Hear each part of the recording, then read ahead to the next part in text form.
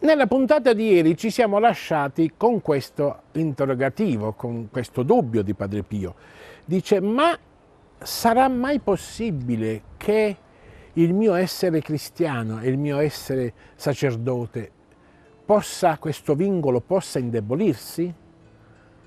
E sempre nella lettera che abbiamo letto ieri, indirizzata a Padre Agostino da San Marco e Lamis, Padre Pio si è posta la domanda e si è dato giustamente la risposta.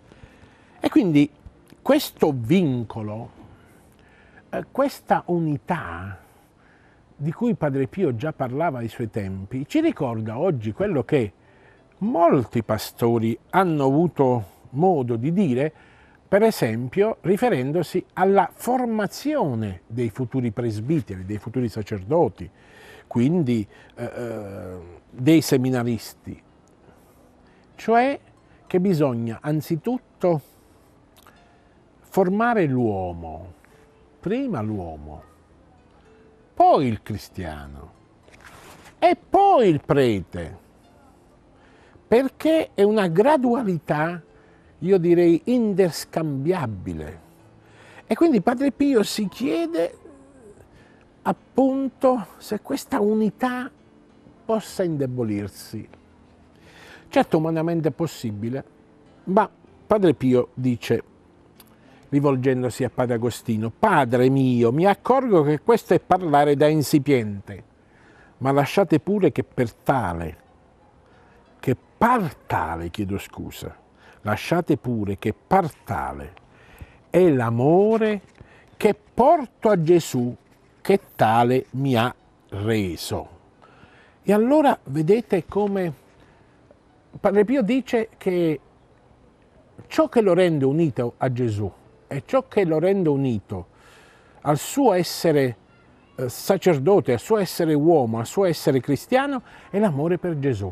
Quindi questo è un vincolo che non si potrà mai eh, staccare, rompere, frantumare finché tu nutri l'amore per Gesù.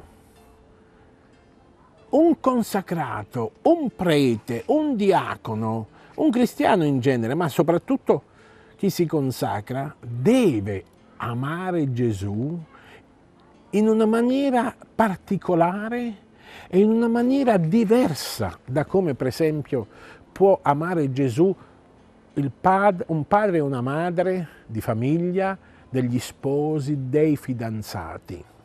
Perché l'amore per Gesù si deve realizzare soprattutto nell'amore tra e nella coppia riversata poi nei figli, l'amore di un presbitero, l'amore di un consacrato deve riversarsi per il mondo, per tutti, per l'altro. Il Signore ti chiama perché tu possa amarlo nell'altro e negli altri, ma nella tua vocazione, nella vocazione a cui tu sei stato chiamato. Ci vediamo domani. Padre Pio TV, dritto al cuore. Ciao!